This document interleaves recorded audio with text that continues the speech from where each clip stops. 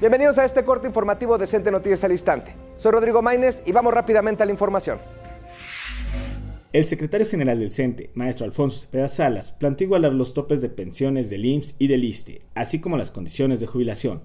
Al participar en la segunda mesa del foro, la reforma al régimen pensionario de la ley del Seguro Social, el líder nacional del magisterio expresó que los agremiados al ISTE, como muchos otros mexicanos, deberían contar, como mínimo, con la pensión del IMSS y tener la posibilidad de negociar como los trabajadores afiliados al Seguro Social pensiones adicionales con su patrón, que en el caso del magisterio es el gobierno federal al tiempo de considerar urgente mejorar las rentas vitalicias de los afiliados al ISTE y los topes a las pensiones en el artículo décimo transitorio de la ley de este instituto.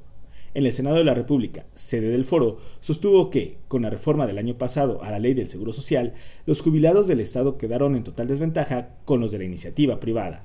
En el contexto, explicó que la actual ley del ISTE, que data del 2007, tiene dos problemas. El primero, que los trabajadores al servicio del Estado, entre ellos los maestros, entran de manera automática al sistema de cuentas individuales y, según los cálculos actuariales realizados, obtendrán una renta vitalicia o pensión que es absolutamente insuficiente para mantener una vida digna en el retiro.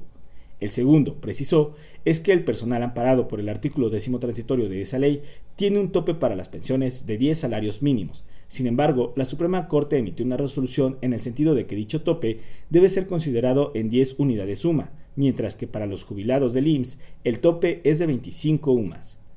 En su oportunidad, Iván Pliego Moreno, vocal ejecutivo de Afore Pensioniste, coincidió con el dirigente magisterial en la necesidad de equiparar las pensiones que otorga el sector privado con las que reciben los trabajadores al servicio del Estado.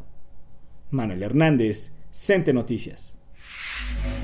Gracias por acompañarnos. Esto fue Cente Noticias al Instante y justo aquí. Y ahora está usted informado.